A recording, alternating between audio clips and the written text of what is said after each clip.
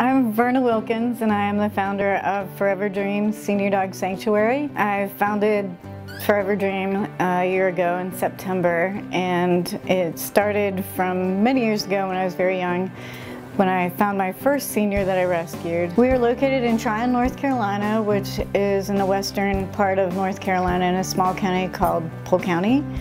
Um, this county, I focus mainly on the county because we do have a large amount of senior dogs in need. Eventually I'm hoping I can get to the point where we do help larger dogs also, but we stick with the miniatures. And what we could really use right now is donations, volunteers, and any kind of linens, dog beds, supplements, food things like that, but definitely volunteers and donations, that's, that's something that we desperately need. Minute is roughly 10 years old.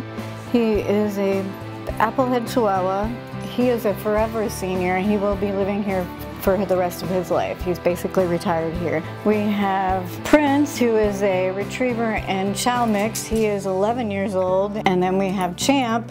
Champ is 18 and a half, and he is actually my personal dog, and he is a therapy dog. So he does a lot of great work with the other dogs when they come in, the newer dogs. We have a few other beagles who are available for adoption. There are also six other senior dogs who are up for adoption and you can see them on our website and Facebook. You can reach us by our website which is Forever Dream Senior Dog Sanctuary org or Facebook, Twitter, and Instagram. You can find us just from searching Forever Dream Senior Dog Sanctuary. And thank you for considering donating to us. My name is Verna Wilkins and I am the founder of Forever Dream Senior Dog Sanctuary.